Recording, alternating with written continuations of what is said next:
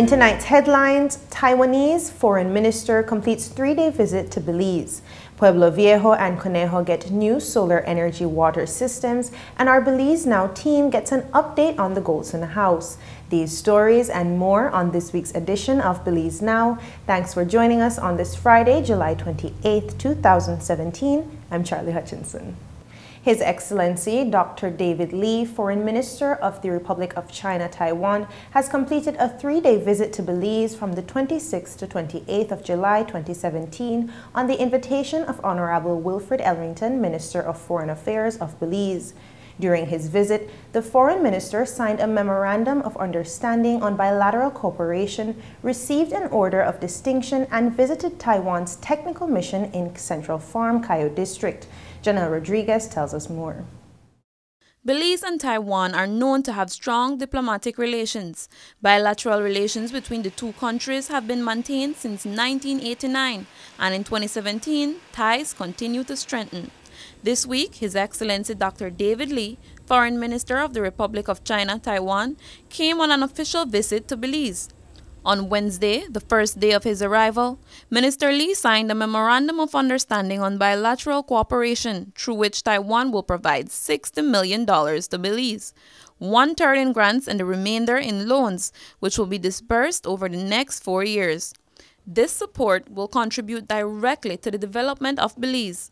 In his remarks, Belize's Foreign Minister, Honorable Wilfred Elrington, expressed his gratitude. Of course, the tremendous, tremendous assistance they afford us in terms of budget support and support for developmental program cannot be overstated.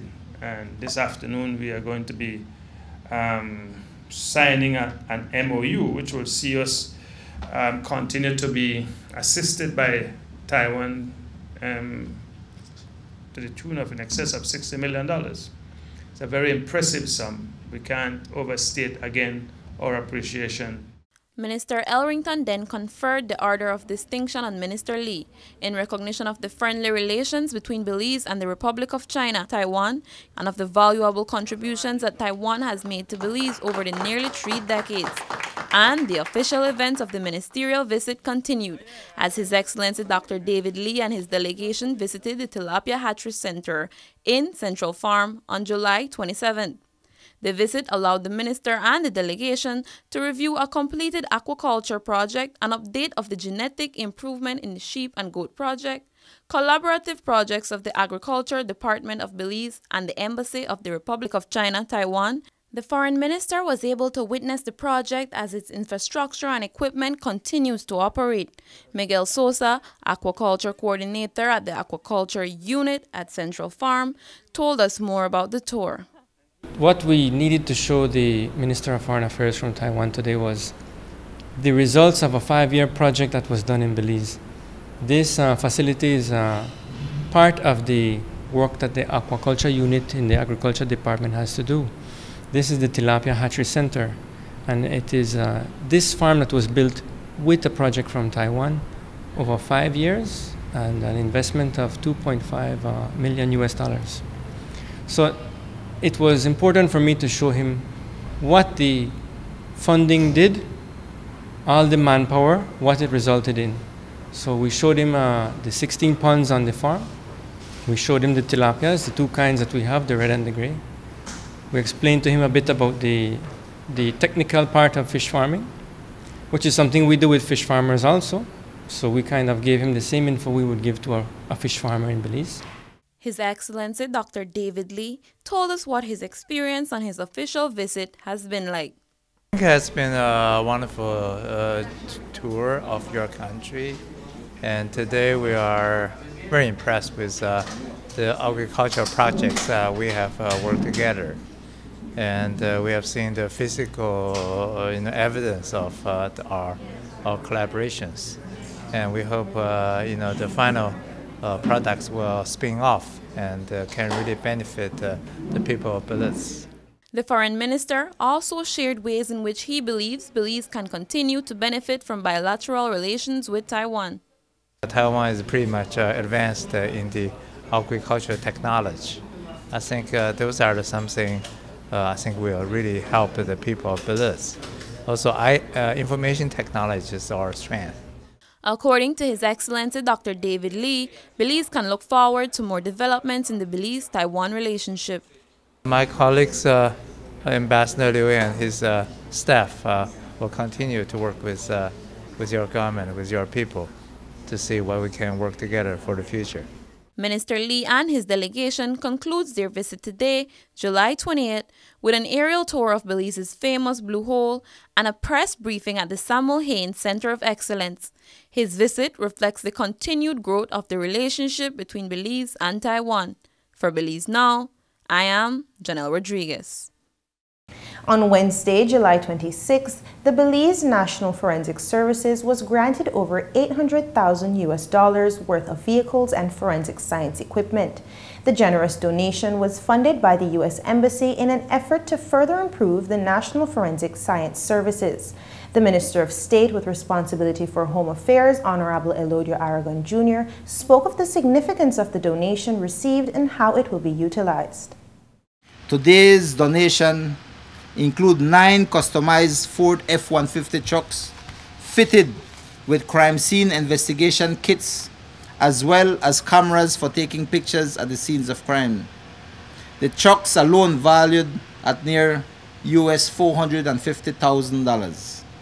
These trucks will be deployed to the Belize City, Ladyville, Corozal Town, Orange Walk Town, San Ignacio Town, Belmopan City, Dangriga Town, Independence Village, and Punta Gorda.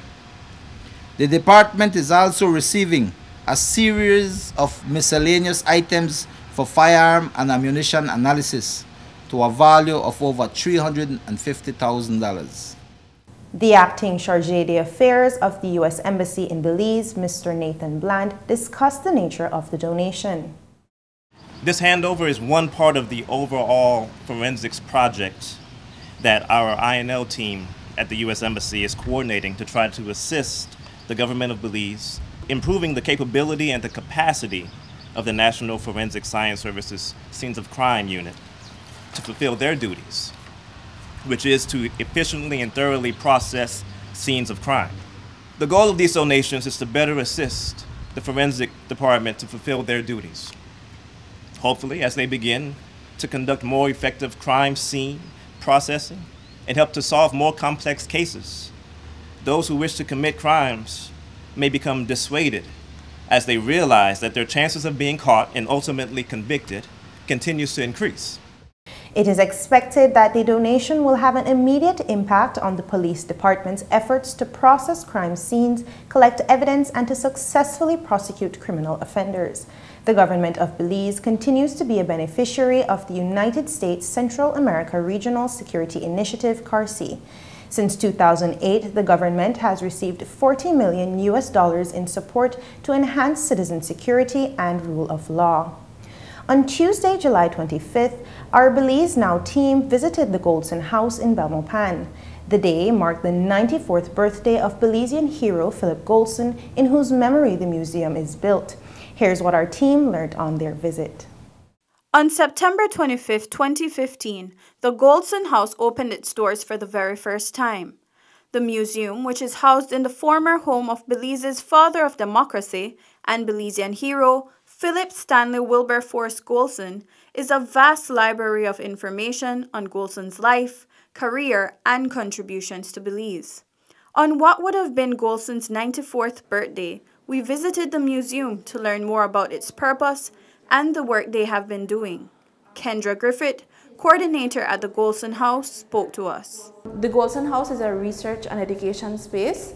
Um, it's also a museum space, so our goal is to have students come and take a tour of the Goldson House and um, people in general, and then at the end continue to do their research because we, wanted, we want to create it into a research center. We also assist with research. So for example, this is a great place to bring children for um, social studies, for history class, and you know, when there's that assignment of um, Belizean heroes, it has not only information on Philip Goldson, but it has um, contributions that other people like Leigh Richardson, um, Nicholas Pollard Sr. did as well, and just different people that have been, have been involved in the movement and the growth of our nation. We asked Griffith what the reception of visitors to the museum has been like. Some come with an open mind, some come not knowing what they're going to expect, but when they leave, they leave um, in awe of what Goldson did for our country, how he, his um, contributions shaped the society we live in today. Um, we have students and children that, um, for example, high school students change their SBAs to a topic um, on Goldson and the independence movement, students saying that they wanted to be a lawyer, to be a politician, and things that it's just a little bit of something always changes the mind of someone. From August 11th to 13th, children aged 6 to 13 years old can take advantage of the Goldson House summer program. This camp will feature a tour and lessons on Goldson and the independence movement, arts and craft, and a unique opportunity to learn to read Braille. Goldson became um, blind in 1978 due to glaucoma, so he served 21 years of service as a lawyer and as a politician um, and as a Belizean activist, completely blind. So we want um, to have students and other people connect in that manner um, because Goldson went to New York to learn how to read Braille. So we want them to basically have a little bit of um, how he came about doing these things. He never let his disability be an obstacle in his life. He never let and basically anything be an obstacle in the goals that he had. In October of this year, a children's book titled The Boy with the Big Name will be published and launched. The book will allow children to better understand the life and contributions of Goldson. We're very excited because um, it's just a way to share the information um, with different age ranges. And Miss Myrna is actually, Miss Myrna Manzanares is actually the author of the children's book, and we're excited to have those in the hands of young Belizeans as well. Um, Mr. Larry Vernon is actually working on the biography of Philip Goldson, which will be launched on early 2018. Apart from books, there are also other exciting opportunities Belizeans, young and old, can take advantage of to learn more about this Belizean hero. We'll be working on the um, art competition based on the theme of democracy and patriotism that will be later on this year. And then there's always just coming to visit the Goldson House. We'll be having um, meet meet the Goldsons and even an evening with the Goldsons. Sorry, and um, where you can take a tour and then talk and converse with his daughter, his sister, and so forth, learning a bit about how Goldson was as a father, son, and brother, and just um, we're going to be personalizing Goldson much more and having people know who he was and what he has done.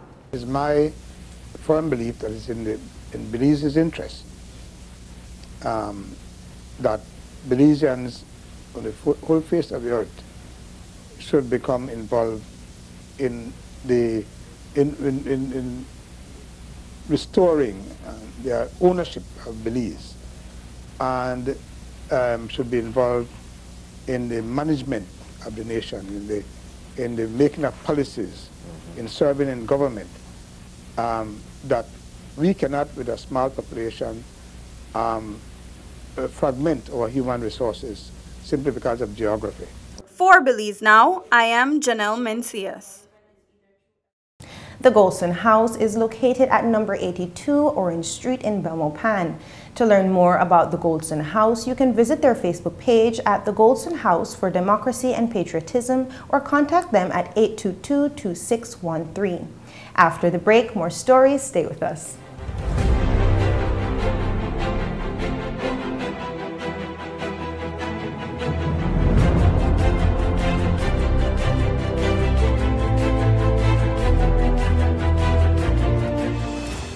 The new Belize City Civic Center is taking shape at the foot of the Belcan Bridge and is expected to be completed by December 2017. This multi-purpose mega facility will boast an air-conditioned interior with a seating capacity of 4,500, a FIBA-certified wooden main court and three practice courts, offices, media boxes and multiple locker rooms, another basketball court with 24-hour access to the public, and parking for 200 vehicles. This $33 million investment highlights a new era of world-class sporting infrastructure for the entire country of Belize. The government of Belize, moving Belize forward.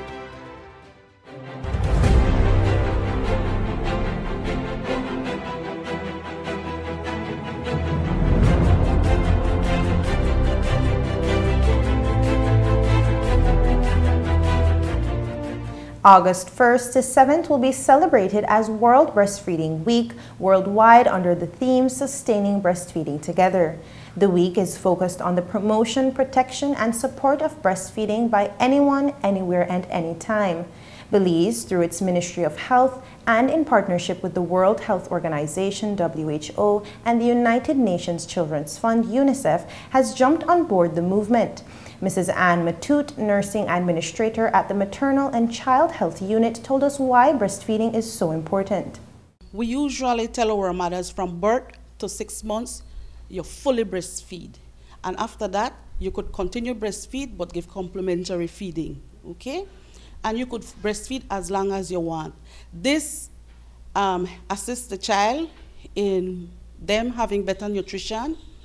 Um, they they have less um, obesity. Um, it also helps with asthma, long-term asthma, right? It helps with that. And for the mother also, it also assists her in um, for her not to have any kind of cancer, ovarian cancer, breast cancer, and so on. To observe the week, the Ministry of Health will be hosting a health fair in San Narciso Village in the Corozal district. The fair will feature several booths promoting and supporting breastfeeding. In addition to the health fair, the ministry will also be hosting a competition. We are having a photo competition, right?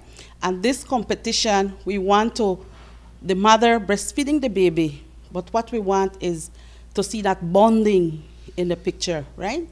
So we are asking all breastfeeding mothers up to one year old, to um, the baby's one year old, to send in their photos for us, okay? And then we'll have this competition and we're giving prizes out to the first, we'll be giving out three prizes, first, second, and third. Mothers interested in participating in the competition can submit their photos to breastfeeding at health.gov.bz by no later than Monday, July 31st.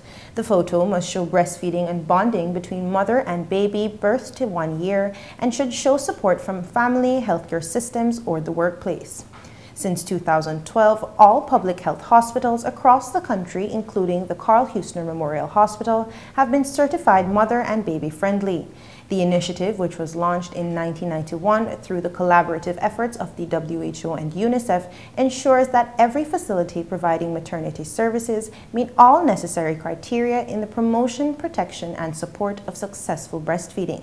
Health facilities acquire the certification after successfully implementing 10 specific steps. The government of Belize, in its continued commitment to address the basic needs of Belizeans in the areas of water, sanitation, and health, is ensuring that the men, women, and children of rural Belize have access to the supply of safe water to meet their daily needs. To move towards this goal, new solar energy water systems were inaugurated in the villages of Pueblo Viejo and Conejo Creek on Thursday, July 20th. Janelle Rodriguez has more. Water. It is humanity's basic need, our most precious resource, yet the people in Conejo and Pueblo Viejo did not have easy access to it. While residents of the more urban areas of Belize can access clean water by simply turning on their faucets, villagers of Conejo and Pueblo Viejo had to walk miles to the nearest pump or river simply to have access to water. Today, because of the efforts of the government of Belize through the Social Investment Fund and the Ministry of Rural Development, these communities now have solar-driven water systems that allows residents to access portable water from their homes. In his remarks, Kerry CEO in the Ministry of Rural Development, mentioned the significance of the project. The government of Belize has seen it fit to spend over $700,000 that is $700,000 to make sure that each and every one of those 141 families, each and every one of the 800 or so residents of Pueblo Viejo have clean, potable water every day, every time you turn on the pipe. The solar energy water systems will also contribute significantly to the reduction in the vulnerability of men, women, and children to incidences of waterborne, foodborne, vector-borne, and communicable diseases, improving the quality of life of villagers in over 150 households. Some of the villagers shared with us what it was like to not have access to clean water. Well, with the experience that we have had, it, it for many for many people in the community it has been one that is difficult. Uh, people would have had to fetch their water, you know, from the river at times, or uh, many of them have wells, and uh, we do have hand pumps likewise. Um, before we have we have had a water system, however, um, it it was down and it was down for some years now, almost a decade. Um, so it was people got used to it, you know, and then and then now and people got used to it. So because they got used to it, you know, um, people find it a bit difficult to be getting water to their homes, especially the ladies. Before the water system, the people of Conejo, the children, uh, used to go to the creeks, wells, uh, as long as it's like uh, good to you, um, good to drink.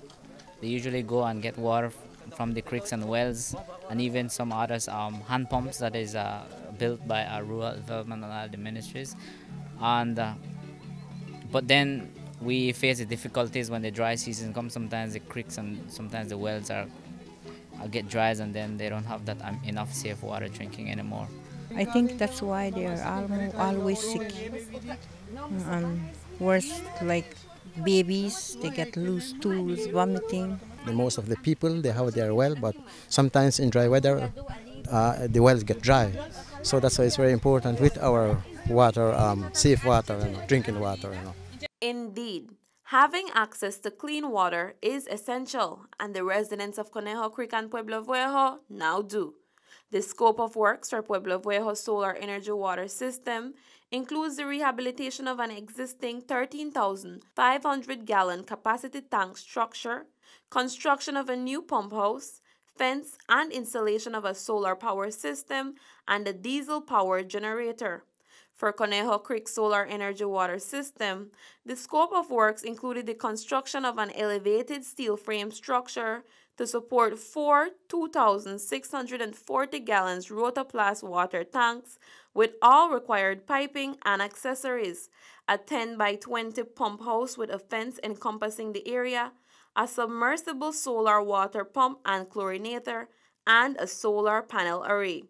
The water tank was constructed at the highest point in the village, thus, water will be gravity fed to villagers. William Lam, Executive Director of SIF, spoke about the purpose of the investment. Today, you are here as witness to the government of Belize flagship social investment fund, who has implemented this Pueblo Viejo solar energy water system as part of its mandate to mitigate poverty in the lives of Belizeans around the country. And uh, SIF does that in other areas, also in education, in health, in drainage, and other infrastructure.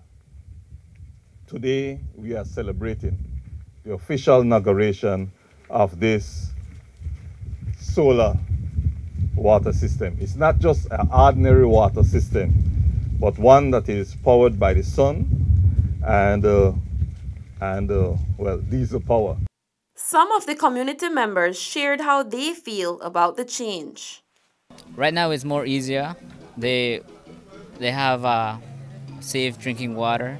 We could say that it's safe. Um, they, they don't need to go from for a distance to get water? Well, providing that we have a functional system and that something that will be sustainable, I believe that having water next to your doorstep um, can be a life changer.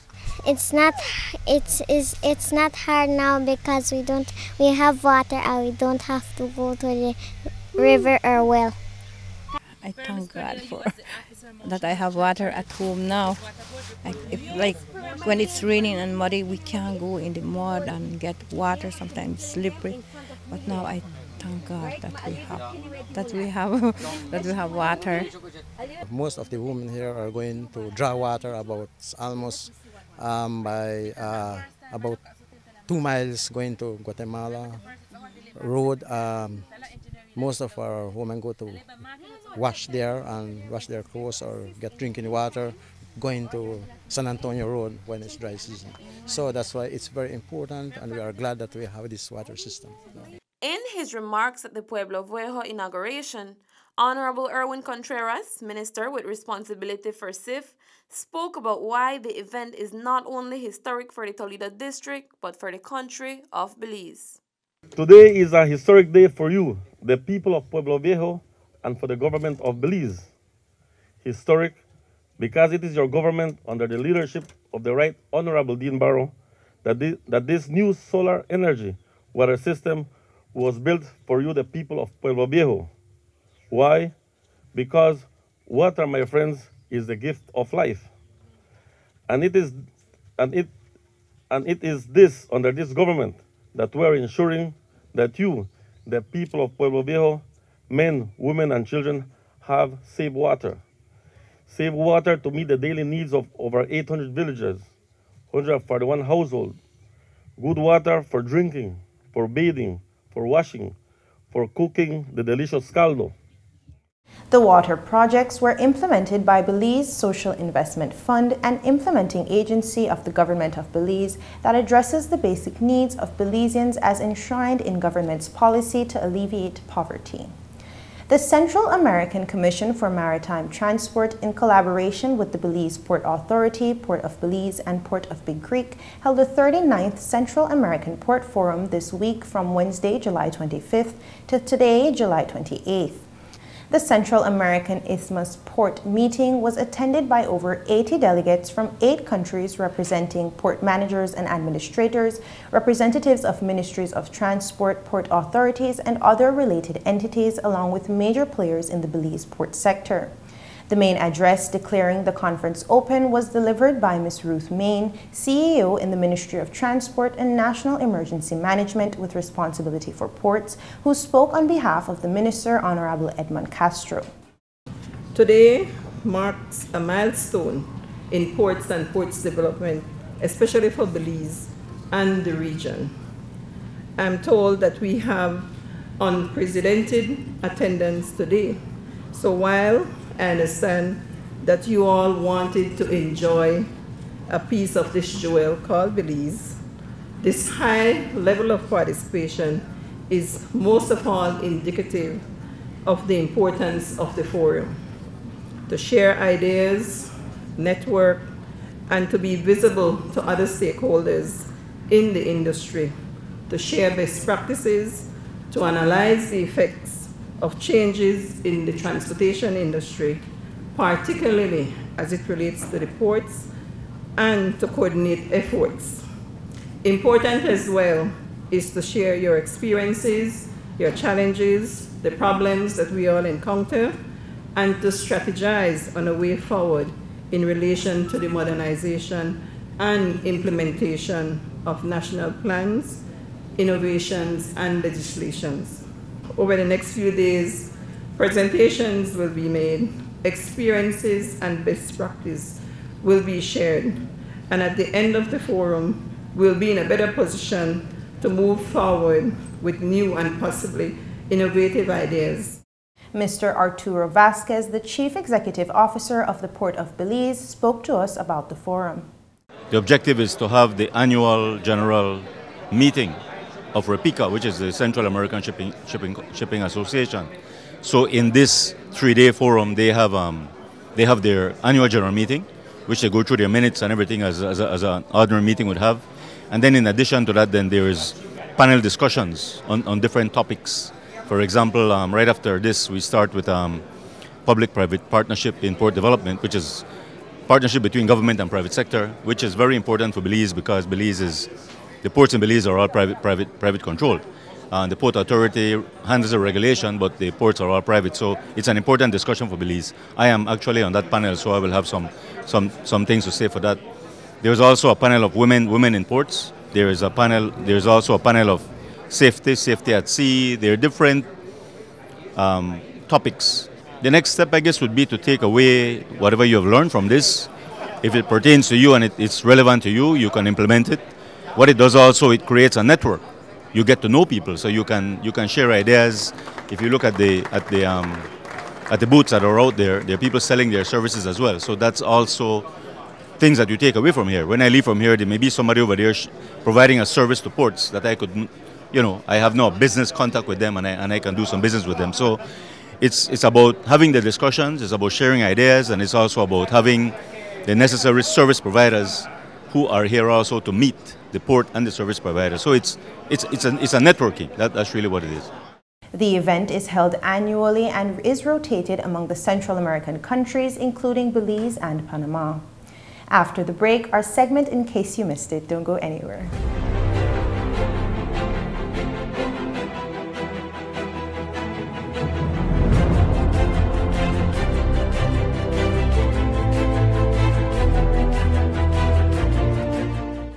The Philip Goldson Highway between Belize City and the Philip Goldson International Airport is getting a major facelift to the tune of $31.5 million. Section B of the highway upgrading project between Haulover Bridge and the Buttonwood Bay Boulevard roundabout is underway at an investment of $21 million. Works consist of the full rehabilitation of the road to paved standard, which includes the widening of the road to four lanes lined sidewalks and drains, wide shoulders, median, and parking plus a bus lane at designated sections of the road.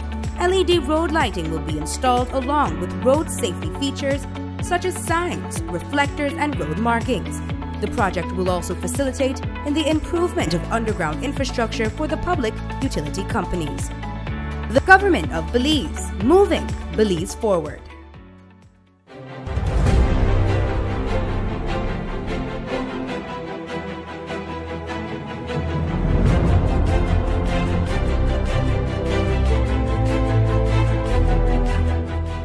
The new permanent representative of Belize to the Organization of American States, OAS, His Excellency Daniel Gutierrez, presented his credentials to the Secretary General Luis Almagro on Tuesday, July 25th at the OAS headquarters in Washington, D.C.